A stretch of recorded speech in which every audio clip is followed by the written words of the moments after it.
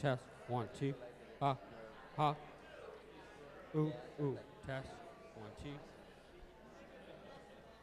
Test, one, two, three, four, five, six, seven. Ladies and gentlemen, test, one, two, test, test, one, two, test. Test, test, one, two, okay. Test, one, two, test.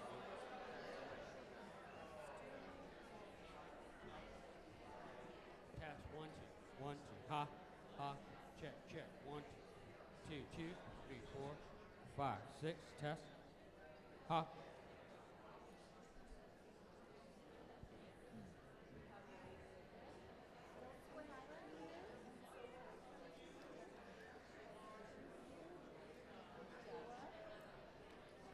Ready to get started? Sure.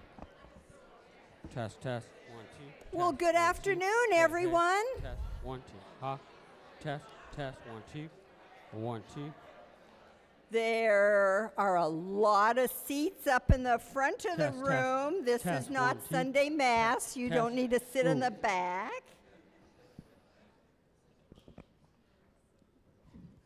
Well, welcome to our session on changing lives and changing communities. And if anybody doesn't know, South Texas College did receive the Leah Meyer Austin Award this year, and I say hooray for us!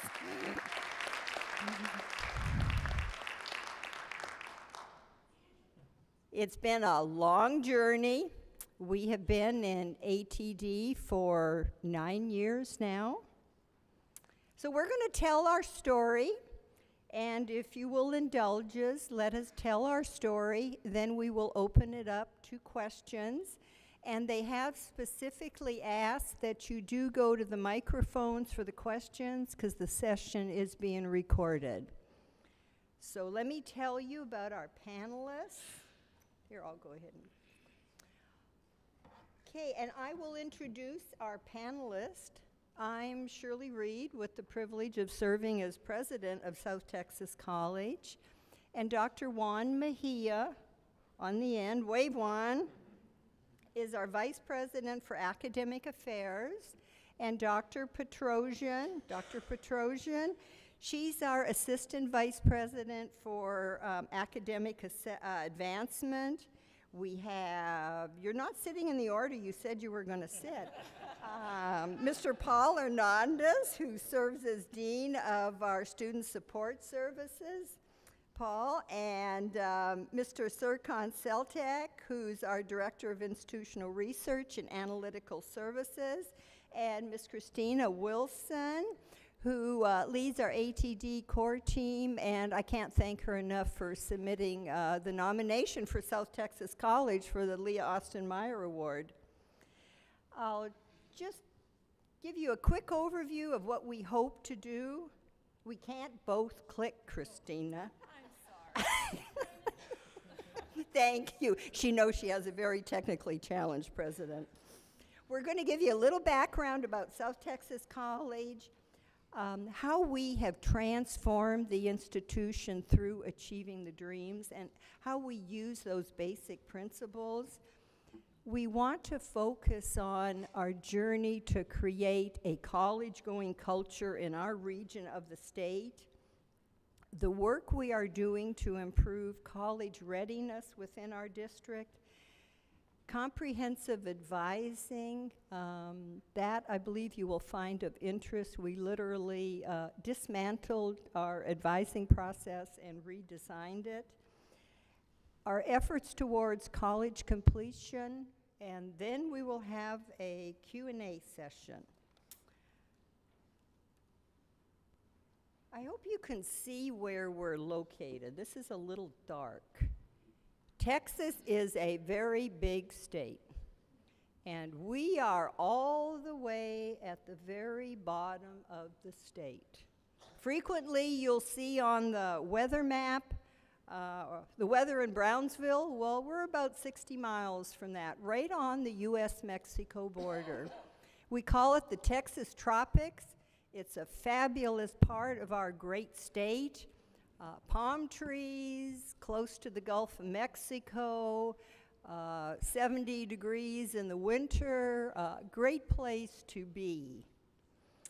Now, as wonderful as our region of Texas is, it's not without its challenges. And our challenges may be unique compared to some of your institutions in your states. You're all familiar with the Brookings Institute. And it was about last year, they were doing a study of the top US cities, the top metro areas. And this is the headline that appeared on all of the newspapers across our region. We've always known that we were growing rapidly, we had a good economy, companies were coming down, we were always in the top 100 in terms of quality of life, cost of living, place to start a business, job creation, job growth. But we finally had to acknowledge that we were last out of the 100 top metro areas in educational attainment level. And talk about accepting some challenging data. So that dichotomy pretty well describes the challenges of our region of Texas. Very low educational attainment level Almost 50% of our adults do not have a high school diploma. And yet we have the fastest job creation rate in the state of Texas. Quite a mismatch between the economic opportunities and the skills of the workforce and the skills companies need relocating to our area. So that kind of sets the stage but nobody can tell the story better than one of our students. You're probably aware that Achieving the Dream held a national competition called Dream Big, and it was a video uh, scholarship competition. And lo and behold, one of our own, Melissa Leone, uh, won that national competition. And we want to share with you um, just a couple of minutes of her story, which really tells it better than I ever could. When I was a little girl, I wanted to be an actress, then a doctor, then a ballet dancer, and I finally settled on a psychologist. After high school, I enrolled in a university in Mexico, but my parents suddenly decided to move to the Rio Grande Valley, so I was only able to study psychology for one month. By January 1st, I was already living in America. Moving to another country is a very traumatic experience. All those months away from school were very frustrating and made me realize how much I wanted to study. Therefore, I enrolled in English classes as soon as I could. I enrolled in STC and everyone I met was very kind to me. All of my teachers were great at their job and really showed concern about me. I got extra tutoring every day so I could enroll in STC for fall classes. And they managed to get me ready in six months. My remedial writing class teacher told me I was a very good student and encouraged me to join the honors program. I was not sure at first, but she insisted so much that I ended up joining. At the end of the semester, I was also invited to join a National Honor Society in Psychology called Psi Beta. The following semesters, I received very good feedback from my teachers.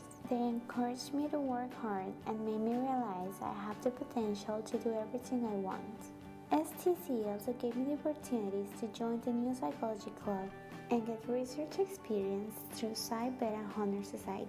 Recently, I received an invitation to join Phi Theta International Honor Society, which opens up many doors for me since I want to transfer to Cornell University or UT Austin. Words cannot express how much STC has helped me reach my dream job. I dream of contributing to the field of psychology with a major discovery that changes the world. I also want to develop a mental health center to help a wide range of people. And in my free time, I want to create a ballet company because my ballerina dream is still there. My name is Melissa Leon, and these are the dreams that I will achieve.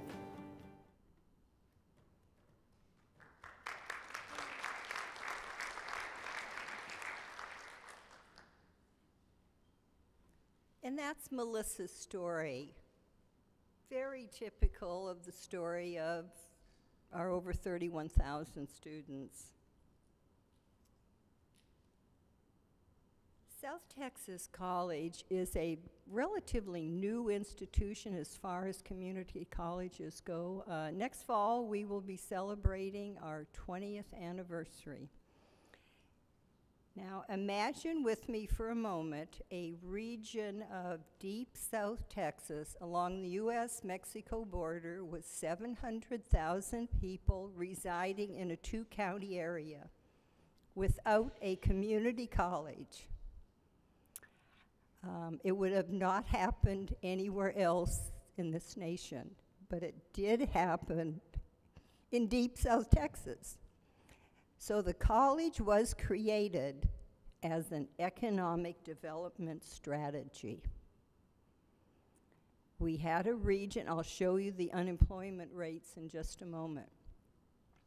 But if you can imagine the 700,000 people without access to workforce training, without access to all the great things we do in a community college, they did have access to a neighboring university but we all know that's not for all. So we were established basically to serve as the catalyst for economic development, prosperity, and social mobility in our region. We had the wealthy and we had the laborers.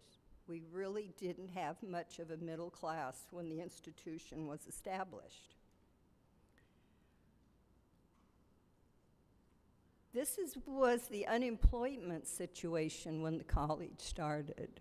I don't know that there were any parts of this country that had 40% unemployment, even during the Great Depression. But this does portray the challenges we were facing when the institution was established. And just the change in unemployment rates alone show the, the kind of progress that we have made. This chart also tells the story. Um, 1993, when we began, about a thousand students. We're now over 30,000 students and fully expect to be 42,000 students by 2020. Another piece of data that is extremely important in Texas and for deep South Texas is the fact that Texas is going to be a predominantly Hispanic population in the very near future. And if the predominant population is not well educated and prepared to go in the workforce, there are going to be some economic challenges and some real social issues within our state. So it is imperative that Texas educate its Hispanic population. But the reality is, Hispanic students are not completing a degree or a credential. This isn't unique to our Hispanic students. We know this is a national challenge but 77% of the Hispanic students attend community colleges, and yet 60% of them leave without a degree or a credential. Just a couple of brags. If we had more time, we'd have a lot more brags, but um, just these three will suffice. We're ranked fourth in awarding uh, associate degrees to Hispanic students. And of the nation's 1,200 community colleges, we're ranked 44th in actually awarding, uh, bless you, we're ranked 44th in awarding associate degrees. And in Texas, uh, where everything is big and the bigger you are, the better you are, Um, we're classified as a very large community college, and we have the highest graduation rate of all the large institutions in Texas and have held that honor for about three years now. So we're quite proud of those achievements. Now, how did we undertake the transformation to accomplish these things? We always had the passion, the dedication, and the commitment to student success. I would show data at every professional development activity to the faculty, and they would totally ignore me. So, they, there really wasn't a heightened concern about the impact of students not successfully completing developmental, not completing gatekeeper courses, not graduating. That's just kind of the way it was. So when Achieving the Dream came along, and with the assistance of our coaches, we were able to begin a new journey to transform that culture. And it involved really digging deep and measuring student success. Um, collecting data for decision making, and breaking down the silos. I don't know about your institutions, but we had academic affairs here and student services here and a couple of other silos. And we finally were able to dismantle those silos, restructure leadership, and the collaborative work began. Now, in Achieving the Dream, you hear several, several themes. One is about denial of the data. And one thing I've learned about this data conversation if it's data we like, we eagerly embrace it. If it's data we don't like, there is something wrong with that data. And we dealt with the data pushback, the data denial. It can't possibly be true. And it almost equated to the, the mourning process where you can't believe the data, you're sad about the data. Eventually, if you deal with it long enough, you learn to just accept the reality of the data. That took us years to accomplish, and it was, I believe, one of the underpinnings for transforming the institution. The other element is what you hear as courageous conversations you have to have some pretty tough discussions, not only with faculty, among faculty, with students, with your community leaders, with your board of trustees. They're not really pleasant conversations. Uh, we did manage to keep them civil, but they were pretty challenging. And maybe the most challenging group would be our public school partners. We had to say to them, do you realize half of your graduates coming to South Texas College need to be in developmental? Uh, they denied that data very quickly. And then they used a strategy on us, which was kind of turn the data around. And then they said, okay, so what happens to them when they come to South Texas College? And we had to say, oh, by the way, we lose half of them. So through those tough conversations and using the data, we just accepted the reality of where we were with student success. And we jointly embraced the responsibility to transform what was happening, not just at the college, but also in our public schools. We talk about a culture of excellence at South Texas College, and it truly has to be based in evidence. So I could tell lots of stories about how we got to where we are. Some I think I better do over a beer late this evening. But now we're going to talk about data and how we transitioned into that data driven culture. You're next. One of the uh, reorganizations, and um, Dr. Reed talked about dismantling things and reviewing our silos. Um, one of the reorganizations was after much talk and discussion, the uh, one shop that we had for institutional research effectiveness and assessment. And our office was called very typically OIRE. Um, but uh, one of the things that the, the, college wanted to achieve is while the data-driven culture was uh, being created through these courageous discussions, um, as a natural result of that, one of the things that happened was the office would get a lot more requests for data and research and assessment support and grant support. And not only the quantity, but also the variety of the requests changed. So it really uh, went beyond a simple reporting office to meet certain accountability uh, criteria, reporting to the state, reporting to IPEDS, and also assisting with the grant reports.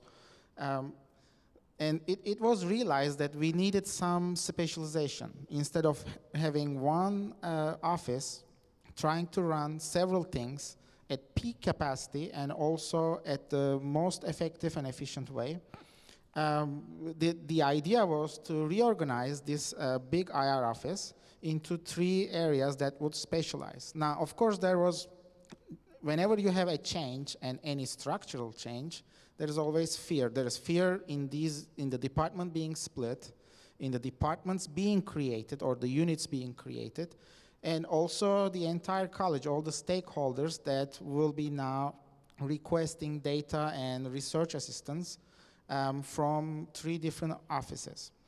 Um, and we, we, really didn't want to create three smaller silos from one large silo.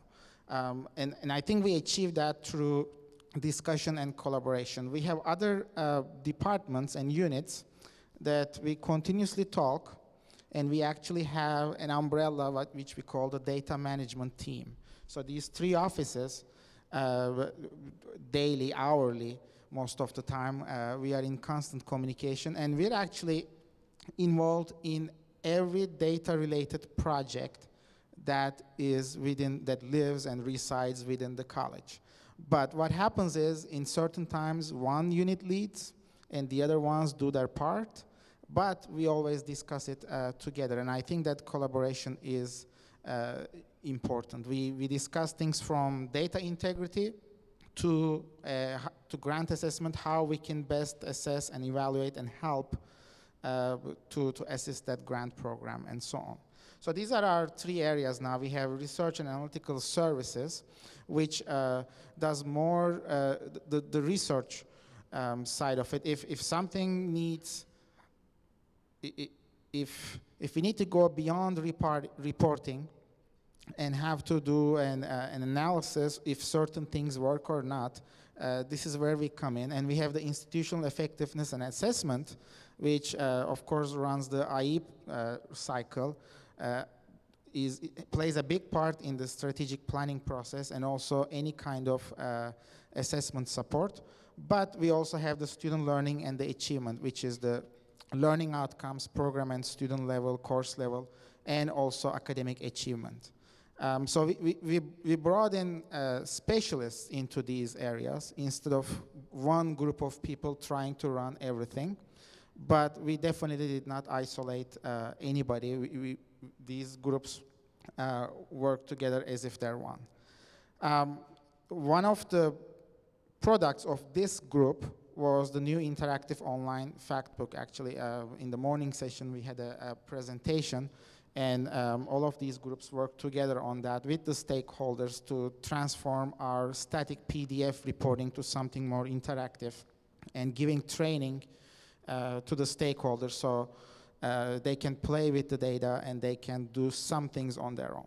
And also we have uh, something that, that we are very proud of as well, which is the Jaguar Pride. That's our homegrown system. Uh, it, it, uh, it is for the program and student level outcomes database, and, and that's where the faculty enter uh, the, the outcomes and also they can get their reports. Uh, we talked about sharing the data. The data was this be, uh, is being discussed a lot more internally, but uh, Dr. Reed also mentioned about uh, our partnerships with the ISDs. Um, so we, the college started organizing what we call the Summit on College Readiness. This takes place every year in February, so we're actually uh, very close to it. I believe it's on the 25th. Um, that's when we bring in our other higher education partners, the four-year universities, uh, the, our public schools, and also business community leaders, so we can discuss the topics using the data, not just stories. Stories together with data, and there are uh, uh, presentations, there are panels, and there are also breakout sessions. It's a full one-day event, and there is a, a very large participation, so we can discuss the issues together instead of the two-year college discussing them, the four-year college discussing them, and the ISD is discussing them separately. And um, some of the topics that you can see on the slides, we, we think, we talk about things like closing the achievement gaps, the college and career readiness, and, and completion. So we'll hold the uh, eighth annual summit this month, and we're, we're very excited about it. After sharing the data uh, at these summits, we then the action begins. We, we work with our K through 12 partners and, and start working as a team uh, to create a, a college going culture. And you, we use that term pretty broadly. Um, I don't know if you all remember a lot of the discussions during lunch, what our students were saying, how important for those students to have a purpose uh, early on and, and think about college early on in, in their educational career. So we created a Junior Jaguars uh, program and start working with students in the kindergarten, elementary schools. And, and really the motto, it's, it's never too early to start thinking about college. And these students are, are working with our college advisors, faculty members. They partner in, in providing uh, resources there at the, at the schools. Um, and also, they transform these elementary schools to, to look like colleges. They celebrate, you know, certain wings where, where this is, um, this is the wing for, for Aggies, and this is the wing for Longhorns, and so on. So it, it becomes part of their school. It becomes part of who they are. Um, so it's important to establish these types of programs and get students thinking about college uh, as early as possible. Another initiative um, that we're very proud of is our Operation College Bound. And there's really two things that a lot of things that I heard this morning uh, with, with our student panel is that sometimes seniors say, Well, I'm not going to college because I, I haven't applied or I haven't completed my financial aid application. So this program focuses on two things is getting that application process complete, the financial aid and the admissions process. And what we see is that in this program, we started focusing on about five high schools and, and, and, and, and a few districts. Now we're up to 32 high schools and 14 school districts. And we're very proud of that program because we eliminate that whole concept that I'm not going to school because I haven't applied to college. Another successful program that we have, and, and we've done this for the past six years, we, we have a, a leadership internship program at STC. And we bring our K 12 educators uh, on our campus. It's a paid internship program. And one of the questions I ask all these educators is Do you truly believe that everyone can go to college? That's one of the key questions we asked our educators. And at the beginning of, of this training program, we'll, we'll have probably about half raising their hands. I, I believe everyone can be successful in college. The other uh, educators seem to see, well, maybe college is not for everyone. Um, after the three week internship program, it's 100%. They, they have experienced our, our campuses, our programs, our support services, and, and they really have a different view of college. And we're very proud of this program because we, we give them the opportunity to spend time with our staff. Uh, we provide, we get them certified in faculty advising. Um, and these educators are, are leaders in their schools to create that college going culture. So it, it's, it's one of these programs that we've already certified our, our educational leaders. Over 100 educators have gone through this program, and it continues to, to have a huge impact with our partnerships with our K through 12.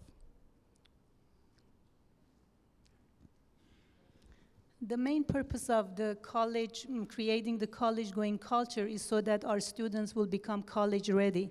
And one of the ways we have pursued this at South Texas College is through the dual enrollment program.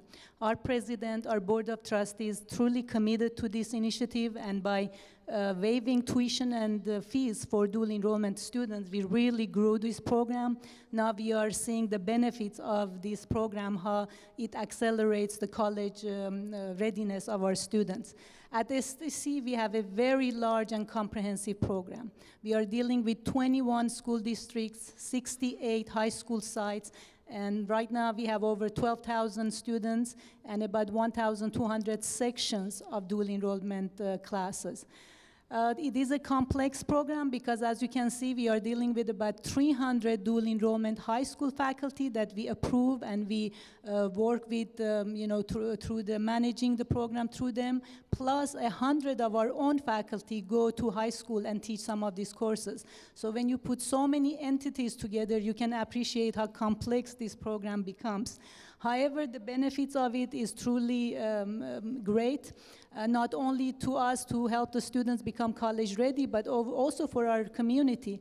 By waiving the tuition and fees since 2003, we have calculated that we have served over 67,000 students, and collectively this has saved our families in our community over $71 million.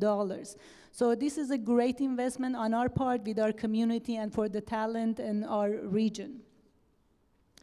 The program uh, with the tuition and fee, uh, fee, being waived has grown tremendously, 210% since 2004. Uh, last fall, we had 11,750 students. This spring, as of census date of yesterday, we had 12,210 students enrolled in our program. And part of it is because of our huge early college program. But um, dual enrollment has, uh, has uh, many uh, um, areas. The program has lots of initiative. We start from the ninth grade at-risk student, very small program, and then we go up to the very high achieving junior students. I have the picture of our webpage on, on this uh, slide because we have for each of these programs that I just have a heading here, we have a very detailed information of how the program works, the uh, startup, the, um, anything that you will need to know about the program and historical data is in that web page. So that should give you, uh, in any of these one, if you are more interested, you should find them in our web page.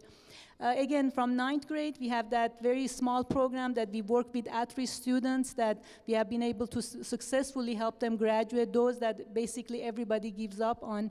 And then we go through that process to our high-achieving uh, junior uh, level students where we have developed academies. The academies provides this opportunity to 11th and 12th graders to be able to finish their associate degree while they're at high school. We have uh, five academies, four of them is in the STEM area, computer science, uh, medical, medical academy, the what's the other name? Engineering and our uh, uh, criminal justice now. And we also created the most unique uh, career and technical academy on the welding area. That's a very new one that we have started, so that's very unique for this type of programs. We probably have the largest early college high school system. We support 15 of them. Probably we must be the only one in the nation that has that many early college support, and we expect a couple of more that's going to be added. Um, we have about 5,000 students now enrolled as part of this program through the different uh, grades that are involved.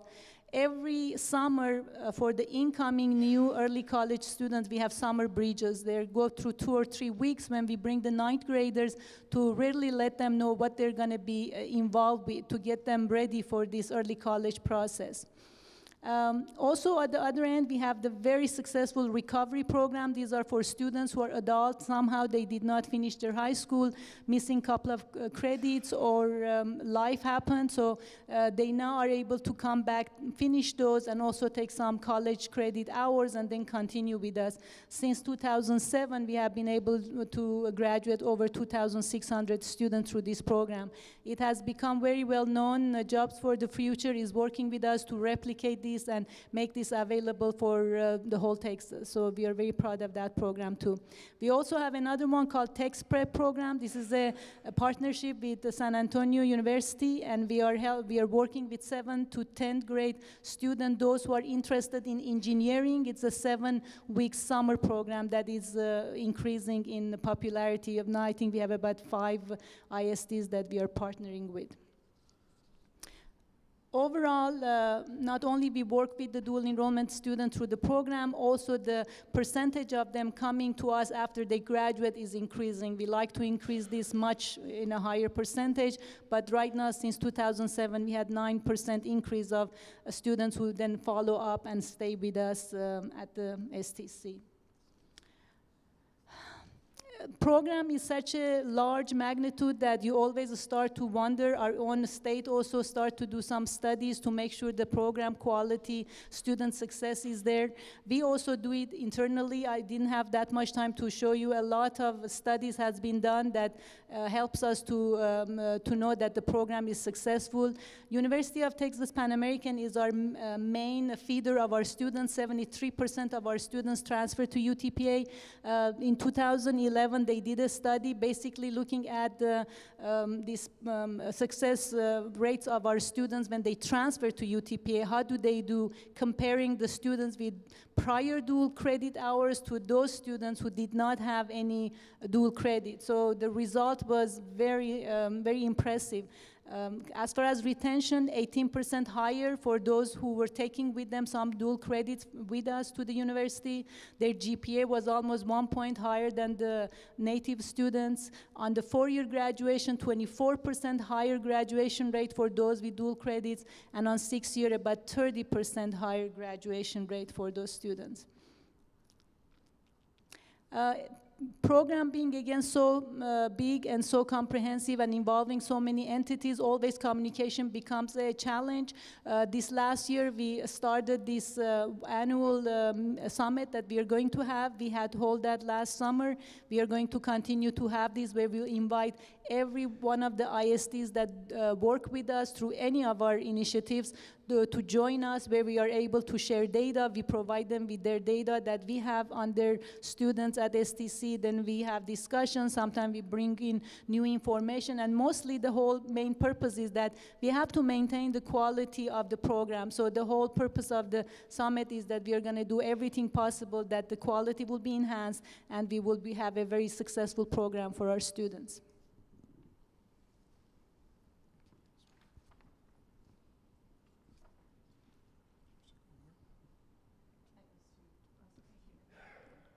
Well, before I hand it to Dr. Mejia, I'd like to just make a, a comment that on the case management model that we have at STC, after looking at the data and, and what our developmental students were needing, they really wanted a, a, different delivery, advising delivery for, for, for that student population. They looked at a case management, and I'll talk more about that later on in, in the presentation.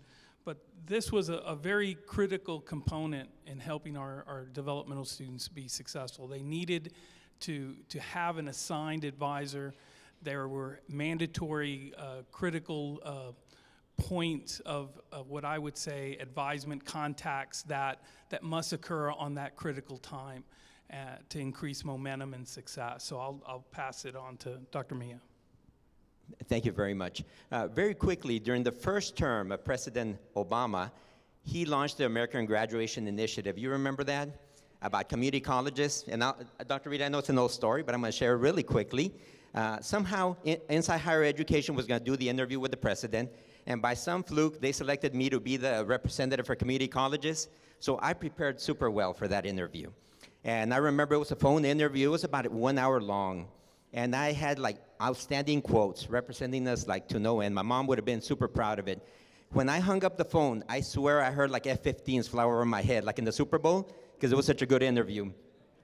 Next morning, when it came out, of course, selfishly, I went to look at, at how it went, and sure enough, they're uh, celebrating President Obama and how community colleges count, and President Obama said this, and he said that.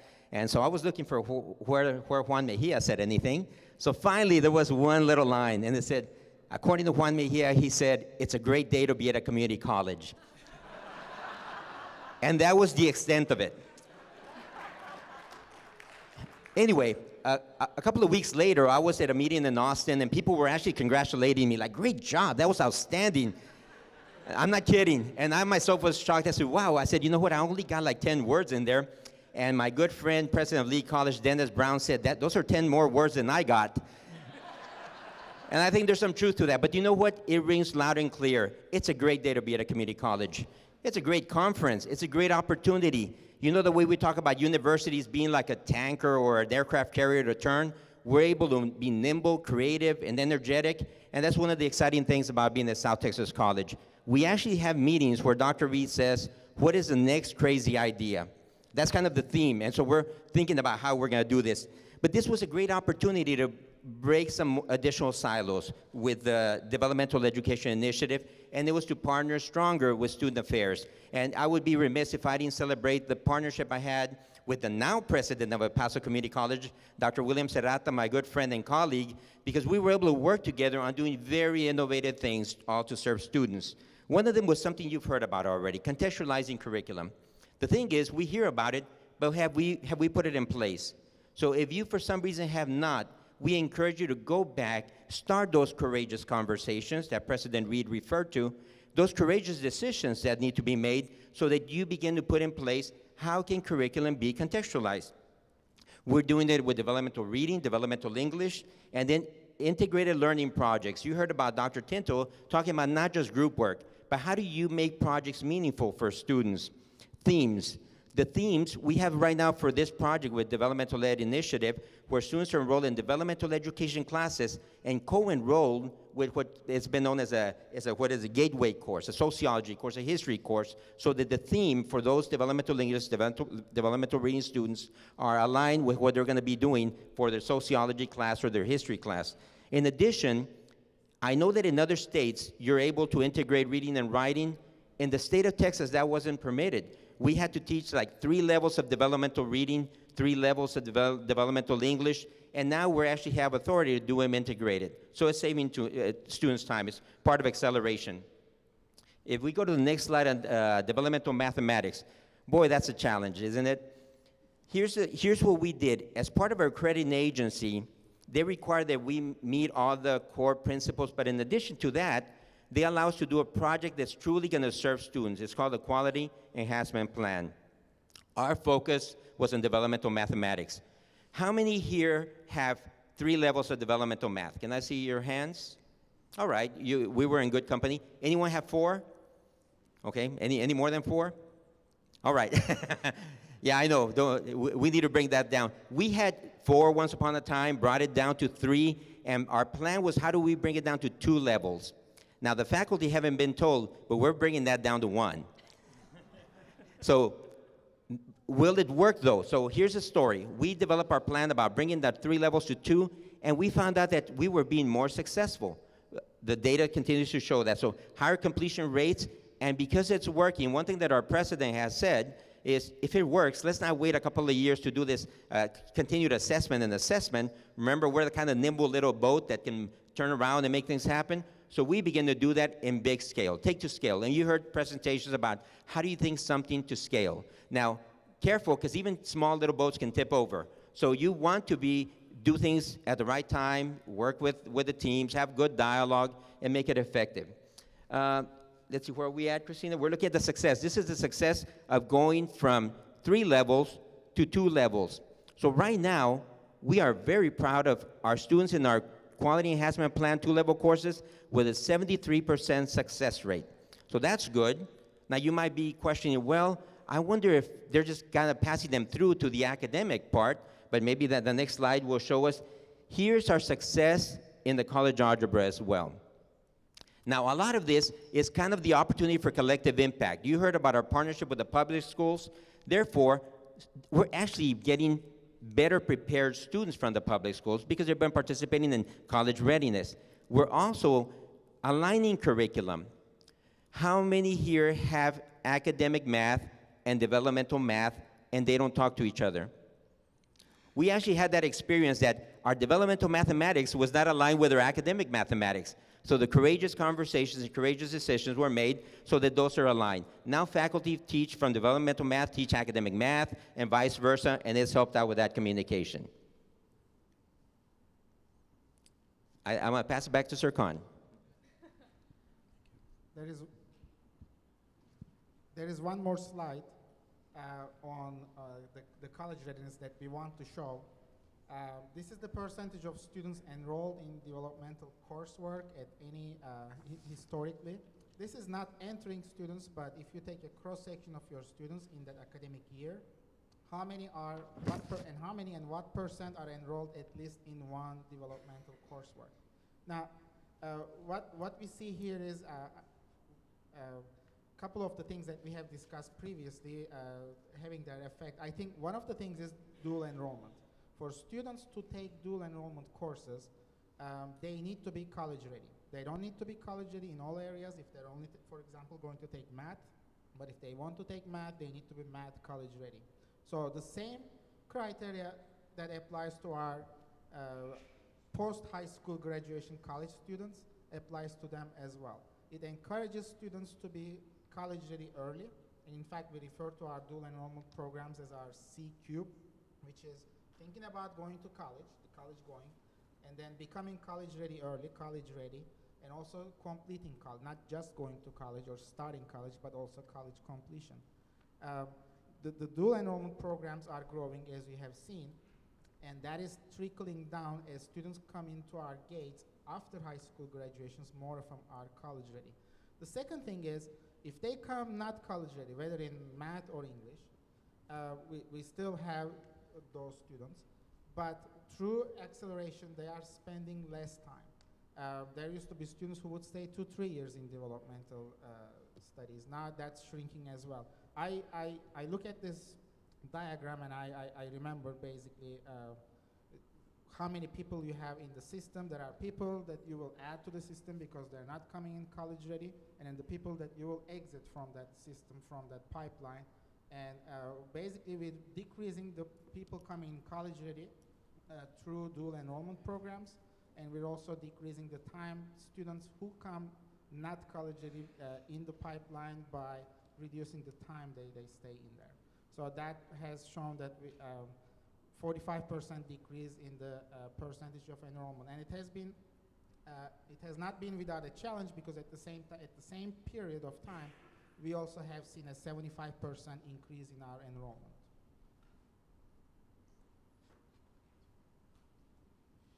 It's always good to have a, the data expert next to you.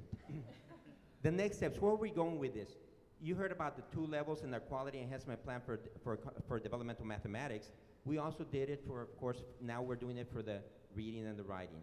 Instead of three levels, bringing it down to two. And really truly, truly doing a lot of pre-assessment, pre-assistance to students to bring that level down to one.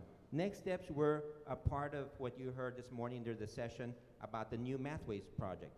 And we're excited to be a part of that. It's, we're, it's fairly new, going to be launched in the fall. So again, uh, that's the next steps. We're part of the Puente project. Now, some of you that are part of Puente might say, well, you usually work with, with smaller groups. The N is small. But you learn so much from that. I, I won't shoot down pilots in any way. It's a way you can get data, you get buy-in, you build momentum. Non-course based remediation In the state of Texas, that was something we didn't have a lot of latitude to do before, but we're doing a lot with now non-course based remediation. So the students, again, it's not about seat time, it's about mastery of content. And then the continued review of data to make decisions so that we can continue to take things to scale. On, on comprehensive advisement, one of, let's step back to 2005, and, and I wanted to really focus on, on what the barrier studies had to say. One of the things that the barrier studies showed, the data showed, was our students were lacking information about classes and services. And our department, our division, took that to heart. We realized that academic advisement was the answer.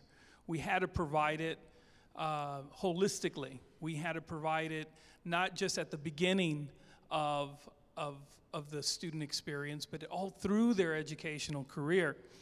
So, to address those issues, we, I think Dr. Reed was exactly right. We had to dismantle that whole program, and we had to listen to what our students were saying about our advisors, listen to how we were delivering that information to our students.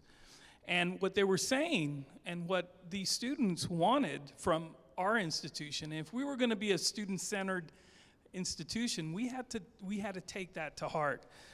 They wanted case management advisement. And what is case management? Case management means that a student has someone, someone that is going to not only provide the information, but to provide the information at the right time. So we looked at that that model extremely closely, and we implemented that for all our first time in college students. And there were four major contacts, and I'll provide more information on that. They also said they needed more advisement during these high, you know, when they had these high enrollment and high failure courses. These are your gateway courses. These are the courses that students have the most difficult time. And these are the courses that a lot of times students leave our institution because they, they feel they don't have a, a chance passing these courses. So we had to divide, develop a, a mentoring program or an advising program to address that particular population. We started with developmental math and college algebra and we expanded that program to other areas. And today we're, we're actually back in focusing on, on academic math to get these students through. They also said mandatory orientation. And I know that many institutions, how many, how many people here have a mandatory orientation program in, and all students attend that, that orientation program? A few hands went down. Um, and the reason I, I make that point is that we're in the process of implementing a mandatory orientation program. But for us to be 100% and address all our students, it can't be one program. You have to provide several programs to meet the needs of all your students. So we'll, we'll talk more about, about that strategy. So we implemented the case management approach to our students, and in a very short period of time, we, we saw some results let me tell you about our four key uh, advising contacts. The initial contact, one week before classes start, an advisor must make a contact. There should be a fourth week follow up session, a priority registration with a financial advisement component and how they're going to pay for these courses next semester. And then the final contact is a final preparation, helping students access all the resources they need to be successful during final week and get them through that course. So we pilot this back in 2005, and the data showed that there was a higher uh, course completion rate, a higher GPA, um, and of course, a higher retention rate. And we knew at that point we were on the right track. We still had a long way to go, but at least we knew that this was going to have an impact and we could refine those strategies. We also looked at a faculty advising training program. This is a program we're extremely proud about, uh, about for the reason that this is not a paid uh, training program. This is a volunteer. But I want to, to let you know the reason it's so successful is because our relationship with, with instructional affairs. One of the key elements of a faculty's evaluation is academic advisement. Many of our faculty that have been promoted uh, have been certified in faculty advisement. And, and I can tell you this openly I don't recruit faculty to go through this program, they come to me. They want me to be sure that there's a seat available for them to go through our certification program. This program consists of two elements. It, it consists of the NACADA training modules, which, which is best practices, and the other half of this training is the ATD data that we provide our faculty and staff and let them know who our students are. And many faculty members would love to advise our students, but they've never been trained. And that was something that they kept on saying. Why, you know, if there was an effective training program, I would love to advise my students. I just want to be sure that I'm doing it correctly. So, the next steps when you think of scaling up our advising program, we had to bring technology in. We had to bring in an early alert system that would provide uh, information to us that these students are may not be showing up to class or their performance in the class isn't up to par. So we needed to, to then develop that, that program that, that way we can easily respond to their needs. We needed to show a student progress dashboard for our students, letting them know where they stand in their, in their program. And that provides them that, that feedback that students need that, am I on the right track? And then, of course, the off track notifications. This is something that we're working on right now to, to let students know if they're registering for a course that's outside their degree plan, it's time to see an, an academic advisor. We want them to stop what they're doing. We want them to come see us and be sure that they're on, on the right track. The Beacon Mentoring Program was a program that, that was very, uh, it was looked at back in 19, I mean, 2006, 2007, and we did a lot of studies on this, on how this program is helping students get through those gateway courses. And I like to even say that our, you'll see this, this lighthouse uh, all over our campus. And, and the reason that we, we picked a lighthouse is that many of our students seems to be lost out there. Uh, and, and what we wanted to project to them, uh, and, and our last vice president thought that this was a, a great uh, uh, symbol of what we do, is that we bring them back to us. We want to attract them to us and let them know to get them on the right track. And, and we've been very successful in that program. An orientation program. Uh, I've heard several comments on mandatory orientation, and and I've even heard comments that, you know, students don't do mandatory. Uh, they do, they, they do mandatory. What we need to do is provide them options on how they complete that requirement. Um, and I truly believe that, that we're doing a, a, a wonderful job trying to, to accommodate our students, our working students that can't spend a whole day during an orientation program, but provide a, a fast pass uh, orientation program. Just give them enough information that they need to get into the first day of class. And that's something that I think is, is critical. You can overwhelm students if you provide them too much information and, and then all of a sudden they, they can't use it. So we looked through the data what information we should be providing our students. And, and, when, and, and, and then, of course, we want them to respond to that information. There needs to be a behavior that's created from that information. Thank you. And the last subject we're going to talk about today is what we have done to improve our completion rates. And I can safely say that everything that we have talked about so far have has impacted those rates, but there are some specific things that we've done um, since joining ATD um, to, to, to impact those rates. So I'm going to talk a little bit about those things. In 2006, President Reed convened a graduation task force. She saw at that point, when we were really looking at our data, that our graduation numbers were not where we wanted them to be. And that task force dug deep into the data, took a look at some of the barriers that are in place for students completing their degree, and several strategies came out of that. Earlier, um, Dr. Petrosian talked about our Stop Out uh, student recovery program that was developed at that time. We spread um, information about advising and the information that advisors have to faculty, staff, and to students. Get the get more information out there. We also have. Um, an online degree audit system. At the time, it was not used very much, so we really got some trainings going, make sure our faculty and staff started using it. Supplementary instruction was something that was on a smaller scale at that time. At that time, we, wrap, we ramped it up. And finally, we started piloting contextualized college success courses. And because of su those successful pilots, we do have courses that are offered on a regular basis. Particularly, we have seen um, tremendous success with contextualized nursing college success courses. In 2009, we started thinking, well, if what we are being judged on is how we impact a, a, small number of students, we all know IPEDS. They look at our full time, first time in college students. Well, if this is what they're grading us on, why don't we develop some strategies that target just those students?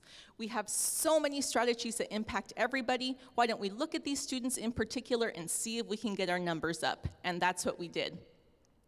We um, developed standardized reports about those students in particular.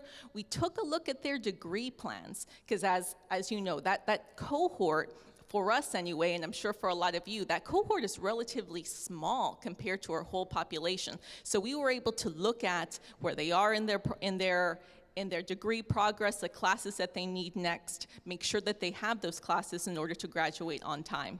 We offered them more work opportunities on campus. We also started thinking about automatic graduation. So many of our students leave us before they finish um, their degree, or maybe they finished their certificate and they don't even know it because they were pursuing an associate's degree and didn't know they had finished the requirements for a certificate. Why don't we give them that certificate or that AA degree automatically? So we started thinking about that, and we also began developing our reverse transfer processes at that time. Oh, and by the, by the way, if you're looking at the top, it was really funny when we started this. People said, CSI? Crime scene investigation? No, this is our cohort success initiative. A part of that program is our GOT program.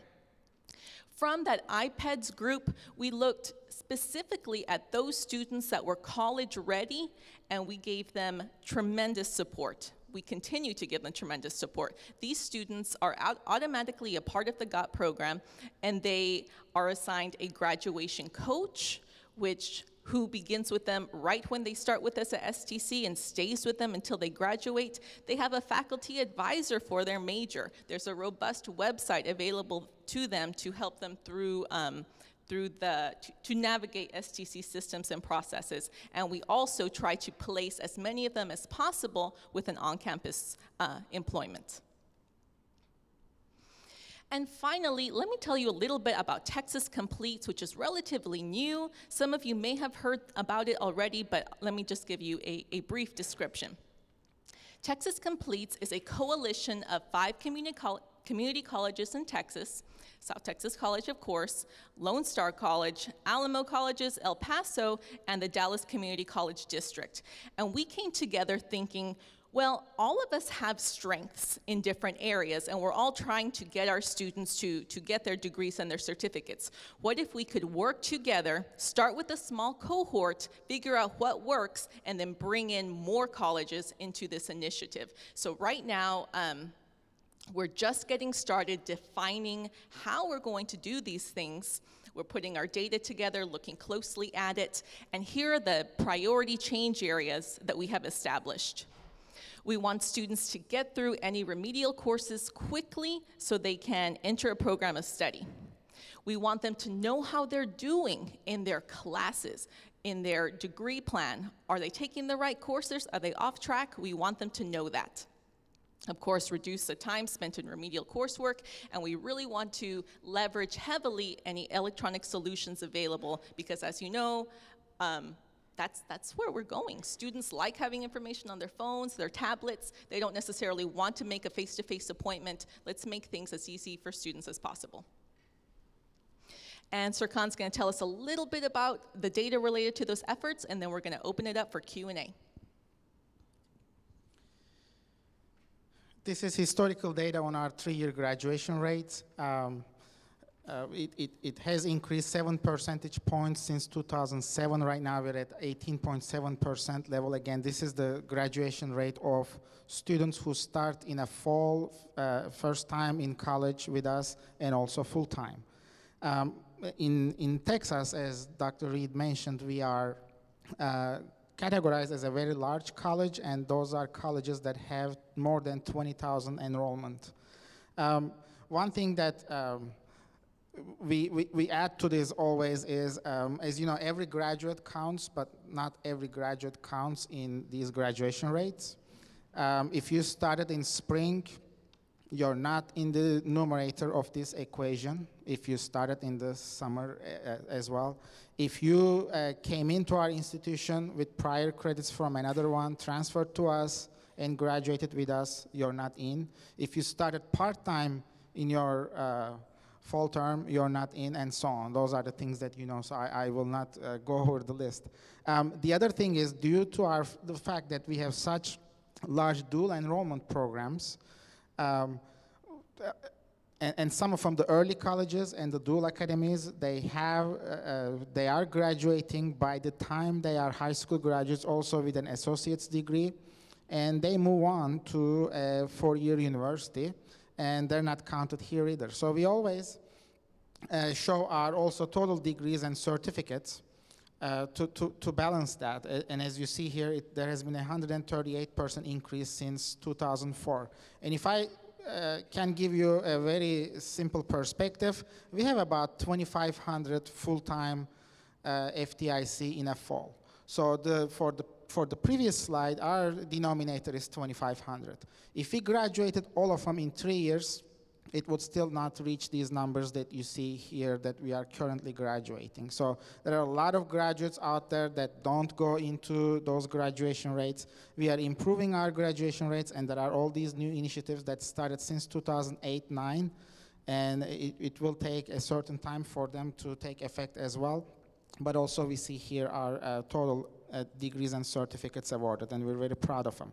And um, finally, one of the things that we all do with, uh, and more and more so with achieving the dream, uh, we disaggregate the data, and since we are 90% uh, Hispanic, we're always um, we always want to know if the how the Hispanics are doing compared to the the um, the, the, the, the, other uh, race and ethnicity groups, and uh, the number of associate degrees awarded to Hispanics has increased by 96% uh, since 2004, and that has increased for, uh, by 78% for all the uh, non-Hispanics. Um, so just uh, a few data points after talking about those completion strategies. And uh, we're very excited also to see how uh, the new, newer ones will take effect and uh, will add higher, bar higher bars to, uh, to, to, the following years. And um, with that, we want to open it to Q&A.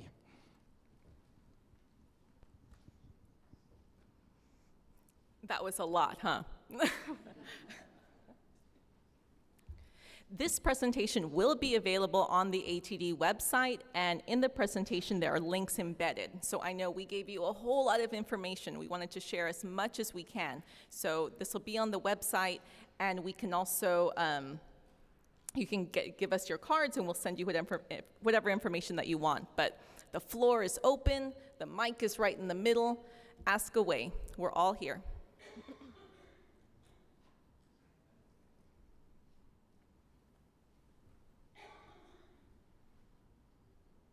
I started to say I had a quick question, but I don't, I don't know if this is a quick question, but okay. uh, in, uh, in serving uh, this major disenfranchised population, what is the role in your student services and your overcoming barriers for the, the undocumented students? That was my question.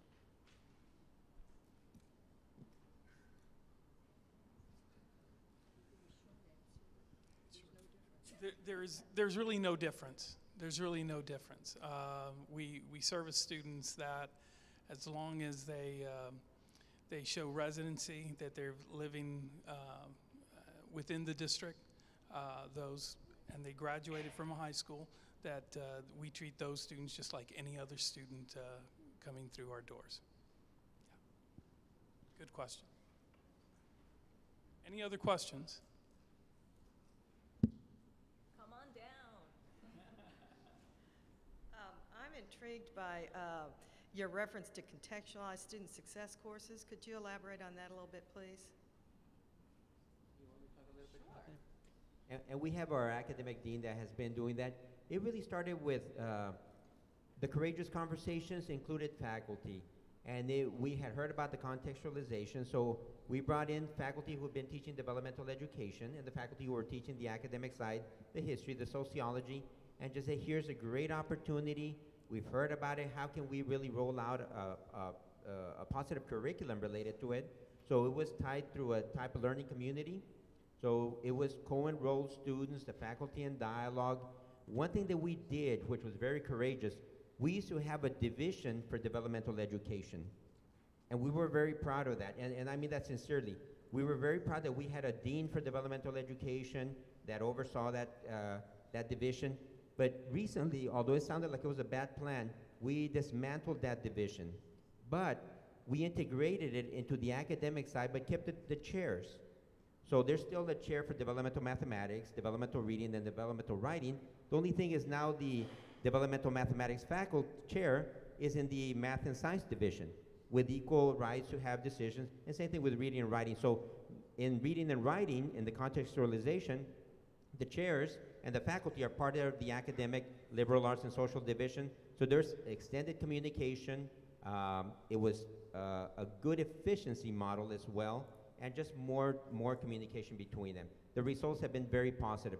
We've also, we're also using it with our, the Puente project, which is we're using learning frameworks in combination with the academic courses, and the results so far are very, very positive. I would also like to add that college success plays a critical role in, in not only uh, uh, a lot of the ATD initiatives. A lot of times we would focus on, on this student population because they were, they were new to the institution. And so I'd like to, to also mention our faculty were very open to, to uh, looking at how we could uh, bring in some key elements, uh, some data into the, the college success course to help those students transition to college. So it, it was, it was a, a, powerful vehicle and it was a, a program that I thought was, was one of those departments that took the lead on, on supporting ATD.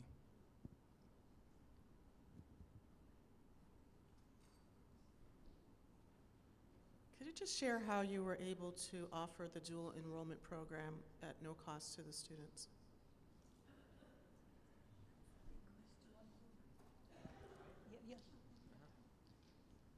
It, it can break the bank. If you hear about it, we're going to waive tuition and fees. And we have our, our dual enrollment guru up here, who was a former high school principal. But the way we started it was we are thanks to our president, the board of trustees, they, we needed volume. So at that time, we were operating with a small and small group of students.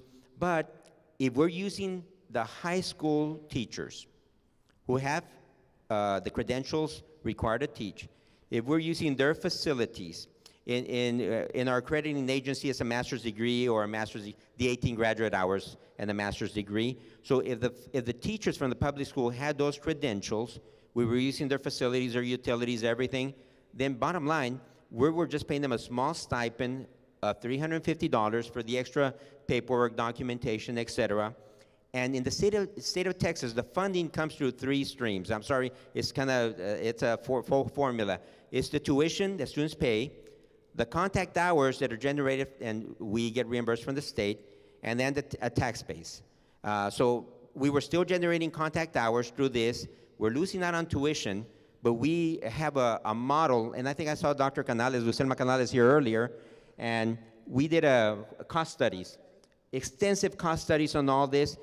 So when we use the, again, when we use the teacher from the public school, we have to, they have to go through our approval process, meeting with the chair, teaching presentation, then it's cost effective.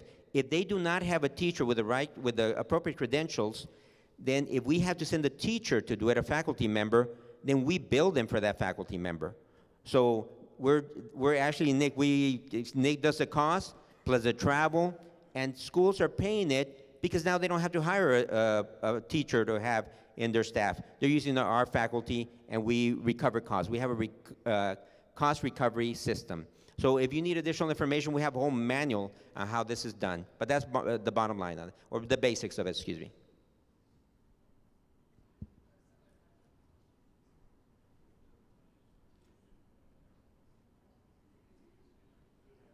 I'd like to ask about your um, college success classes. Do you just have one version, or do you have varieties of different versions, a one credit, a three credit? Uh, And also in orientation, it sounded like you had different variations on that to sort of customize to different populations? I'll start very, uh, very quickly with uh, college success. We do, we have a college success that's not credit bearing. We also have a learning frameworks class that is credit bearing. We have a college success for allied health, the students that are going to the allied health. So remember the contextualization that we're talking about is really putting it in place. So we have a few models, and thanks to the comprehensive advisement, that helps the student determine which one is going to be the one that I really need. Then Paul, if you want to talk about the orientation. Yes, sir. The orientation, we, we have a first-year connection uh, model uh, of orientation, and we get about maybe 45 to 50% of our FTICs through that program. We just created a Fast Pass uh, orientation program, and, and the Fast Pass is really a, a, an opportunity when you have these walk-in students that, that come in and apply and for some reason, because of their work schedule and so on, we want to get them to our, our welcome center immediately. And what that orientation is, is a very condensed orientation. It doesn't have a lot of the social interaction. It's not a, a first year experience. But what it does have is those, those key elements that you want the student to have at that time to help them transfer. Um, do they have their test scores? Uh, you must meet with an advisor. And, and, and, and after that fast pass orientation, we do assign that student an advisor. So they'll, that all that process that's done, uh, even in a first year connection, we've condensed it and, and try to make it a, a fast pass. We, it's not, a, it's not at the point that we want it to be. Um, and, and we're going to have to expand it to, to, to more hours and so on. So if we're going to have a mandatory orientation program, it, uh, one size fit all will not work, and we've seen that. Uh, there's just no way. We call our students, we let them know when the event is coming, and, and we're just not getting uh, the, the turnout during our face-to-face. We had a, a, a wonderful turnout um, this spring, but still, there's still a, a student population that, that would probably be uh, met, you know, with a fast pass orientation. And we do have an online orientation program also.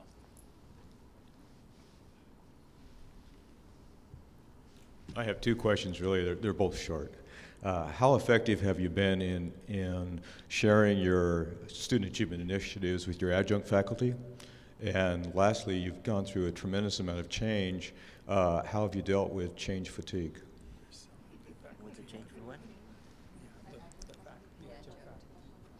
Uh, I'll address the adjunct faculty. I'm sorry, I'm, sorry I missed a second, second question. We have a, a strong professional development program. We have new faculty academies, dual enrollment faculty academy, principal summit, uh, full-time faculty. Um, just we have academies for just about every everyone and everyone. Ambassadors, so that everyone cross training. Our adjunct faculty are very very much included. Now we, we do not have, we have a, a nearby regional university, and I say that to point out that we don't have a large access or large amount of, of adjunct population. We have, our, our president has supported a strong commitment to full-time faculty.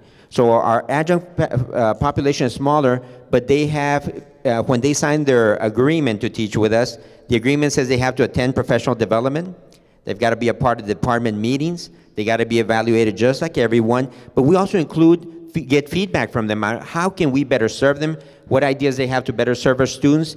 Because something that Dr. Reed started years at when she started the college was yeah, our founding president, by the way, uh, it hasn't been mentioned, was about a common assessment so that a student, regardless of where they took that course, what modality, at what campus, is going to be assured of a quality curriculum, and that includes adjuncts. So they're integrated in, in everything. We invite them, they come on board, and we really have had no, no uh, apprehension to their participation in any way. And I'm sorry, what was the second question?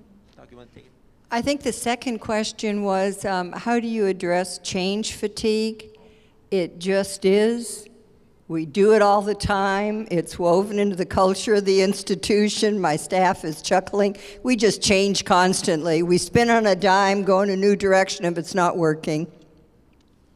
Very quickly on the change. Uh, sometimes, oh, to bring about change, you need new people, so there's turnover, turnover. But as I mentioned, Dr. Reed is the founding president of the college. Most of us around the table were there when the college was founded. So when you have that stability, sometimes you're able to affect very positive change. Uh, again, our, our former vice president student affairs, we just lost him to the presidency of El Paso, but he was there since the beginning as well, and we worked together very well. I know, Lydia.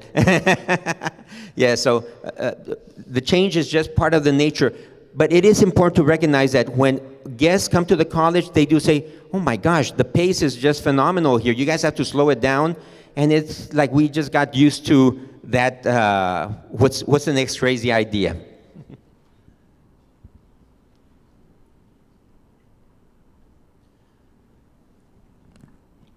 Kind of low. Um, those graduation numbers are just amazing.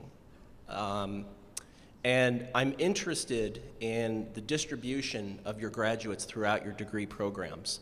And I know you probably don't have that information off the cuff.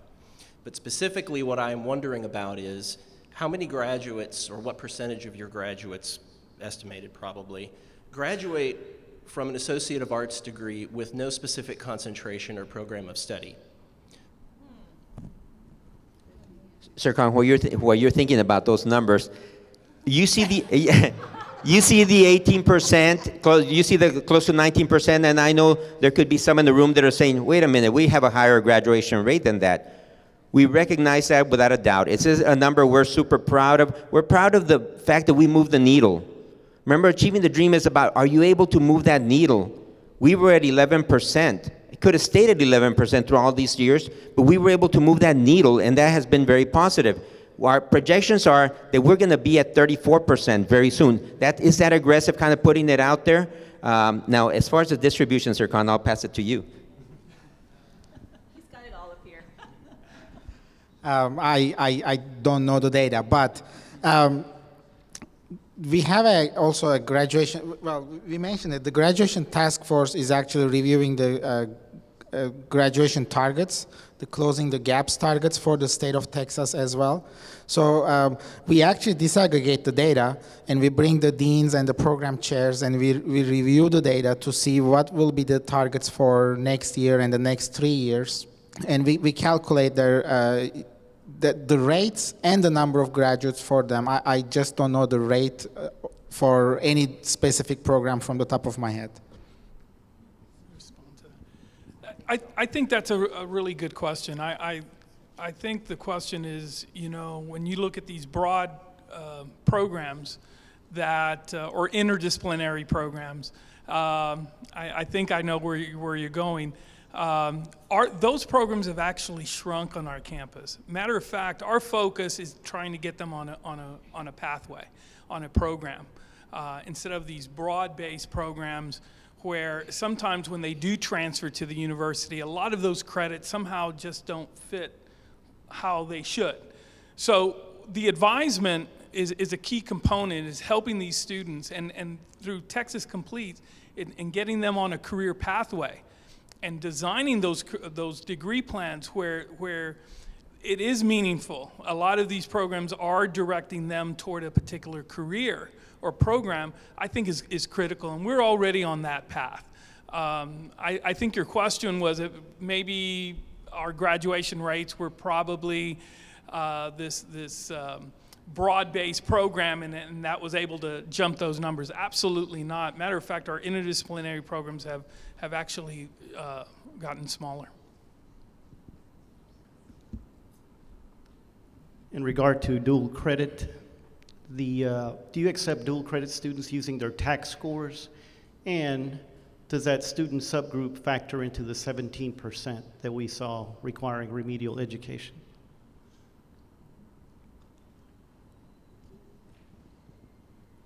The, um, the, the percent in um, the um, in remedial, that includes the entire uh, population of enrollment, so that includes dual. Since we hold the dual students to the same criteria uh, to, of the college readiness, if, uh, as if they are our traditional students who come after the uh, uh, graduation. So um, there, most of our dual programs are for uh, academic courses, so they have to be college ready in the areas that they're taking courses. And we have one, uh, the, the certificate uh, academic, the, the, welding that Dr. Petrosian mentioned. And in those cases, they're uh, exempt, so uh, we include them in, the, in our calculations. Sorry, the first part of my question, did they, do you accept students using TAKS scores alone? Also, yeah, correct. Yeah, yeah. Or do they take, or do you take TAKS and then they take the placement exam as well?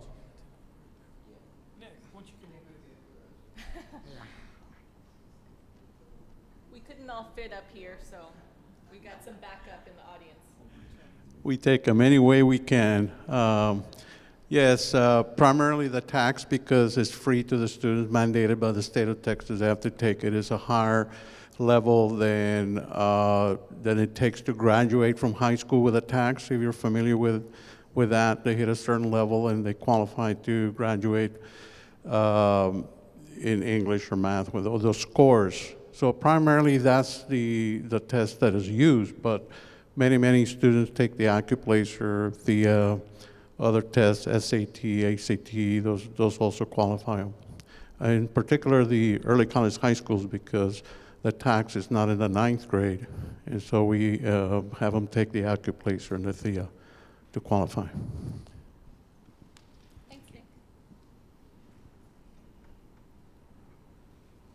Tremendous presentation. Thank you very much. It was great. Thank you.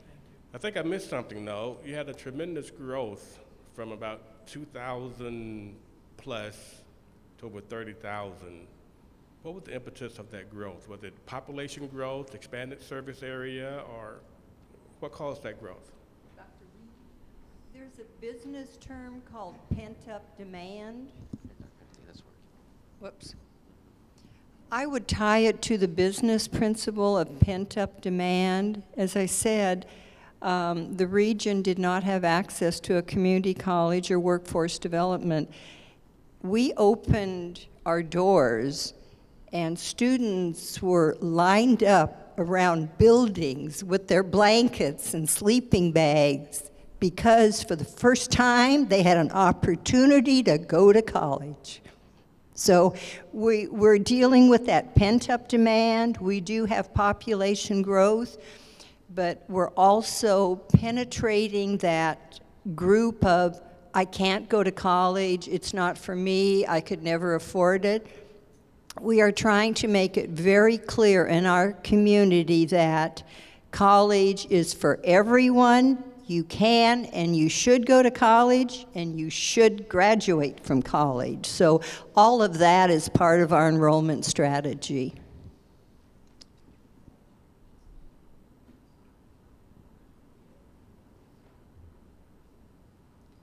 I don't have a question, but I have uh, a comment to follow up with this gentleman's comment he just made, and that is, this is a very impressive, impressive presentation, and uh, I thank you for it, for sharing your work. Uh, more importantly, I want to laud you and applaud you for a job well done. So thank you.